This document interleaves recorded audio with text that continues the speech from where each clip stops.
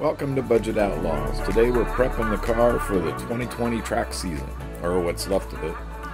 But first, let's take a quick look at 2019. This was one of my best runs, and I actually won XP that day, which is rare.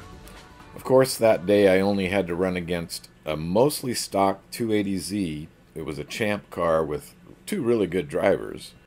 So they had skill and handling, and I had power. It was close, but I eked it out on 10 year old street tires.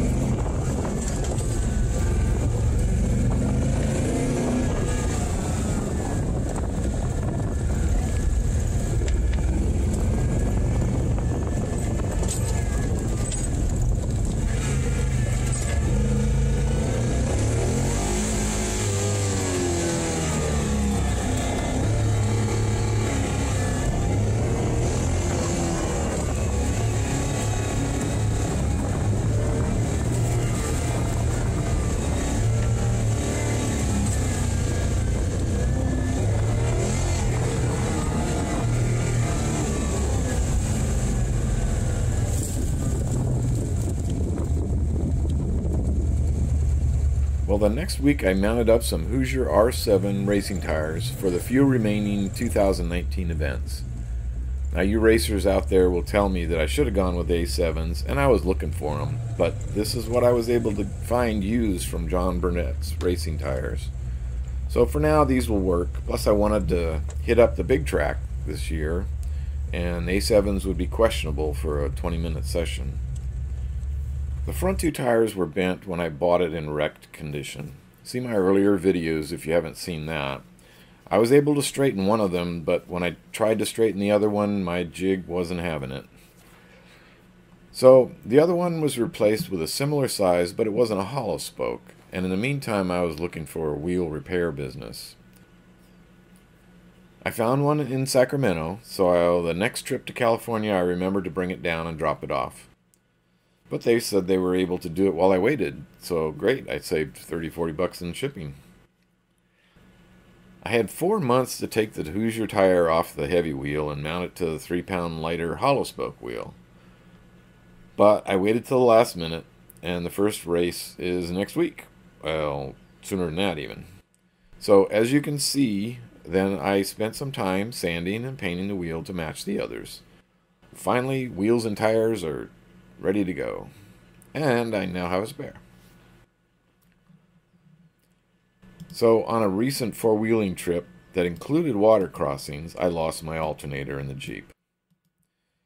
As soon as I was able to make it back to civilization, I stopped and bought a battery, thinking, well, I'll just use it in the 914. Well, I guessed wrong and bought the wrong size, so I spent some time remaking the battery tray. The brakes on this car are from a 1988 Porsche 930, also known as the 911 Turbo. They are big and heavy and work well, however, drilled rotors oftentimes develop cracks around drill holes. They aren't bad, but I want to push this car a bit more this year, so I'll change them all out, pack the bearings, clean up the pads to match the new rotors. So we just put the, uh, the nut on there. And the nut it doesn't have a cotter key, cotter pin. It has this six millimeter thing on there. And then certain spot where this lines up and allows you to tighten it down. Okay, so now I need to adjust it, which I need two hands.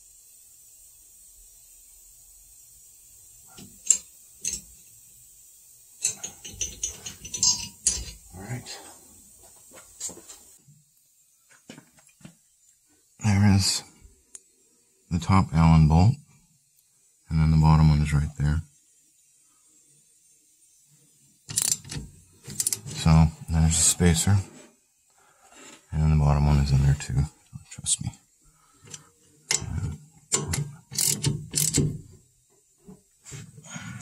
I don't know if I, I know I can't do it one-handed, but I'll show you how I do it. What I'll do is I'll squeeze that one yeah, I can almost do it one-handed. You see how the bottom is pulling out? And then you just push on with a screwdriver. Can I do it? Can I do it? All right, now it's magic. oh, these are new. So I wanted to show you what I do to surf surface brake pads after I run them on different rotors. This is just a real flat piece of wood. I'd use this, but it's got bumps in it, so if that's not going to work.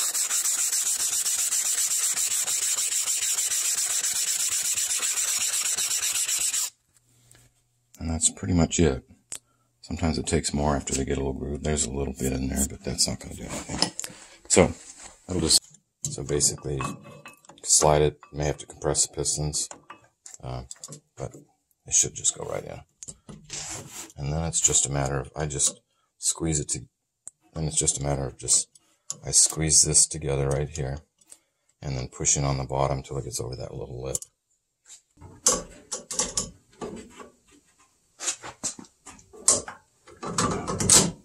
Just like that. So just tap on it and make sure it's seated well. And you're good.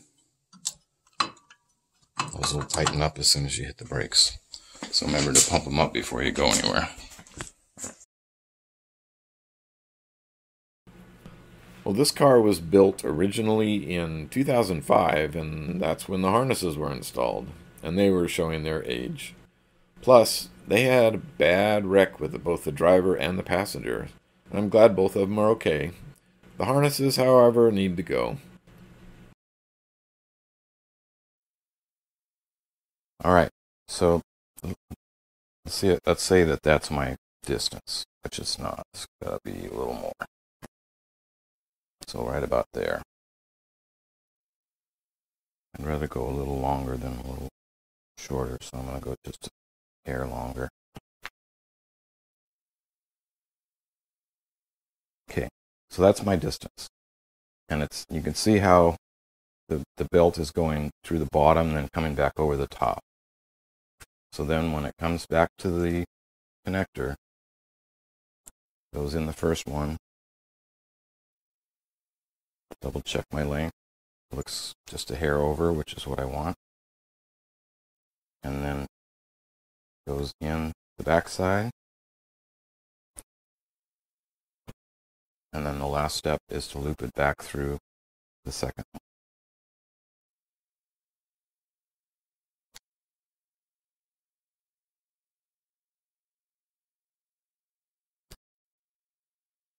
Now, your sanctioning body might be different. That's SCCA rules. And uh, I'll show a diagram of that here in the video. But you can see how that is what I want on mine. And so all of my straps will be mounted like this through a bolt and then looped just like that.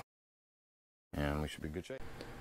Well, all of the harnesses except for the shoulder harnesses, which the, they will wrap around the harness bar, is what I'm doing right in this shot. And uh, other than that, yeah, it, it works well. It works the same way. So testing it. It's a little low. I had to adjust it back up again. We're working on getting some better video. Here's one of my experiments. The, the mount is very solid and the suction cup is good quality. And just with a little bit of stabilization from my cheapo 4K camera, the, the video doesn't jump around when I wiggle the bracket. But this has stabilization as well. Now the GoPro would be better, but I'm not ready to risk that just yet.